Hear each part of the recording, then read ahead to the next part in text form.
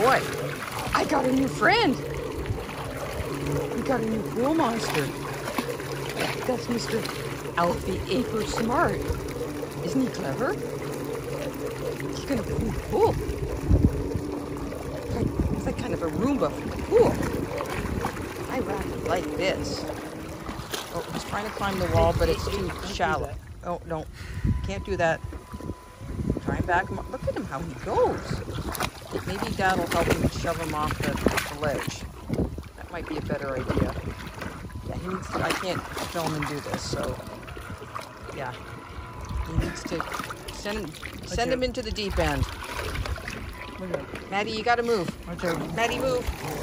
Maddie, look out. We're just test driving him, so we're not sure what his exact abilities are, but he looks pretty. He's really quite good. Here he goes. He's going for the dive. Where's he going, Maddie?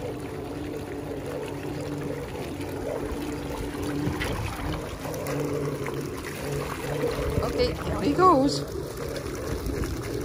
It's wonderful because he's cordless. He's got nothing but himself just zipping around the pool. He's gonna sink based on what he did before. So I really like him though because he makes this nice water fountain thing go. So he just charges his battery and then off he goes and he zips around and cleans the pool.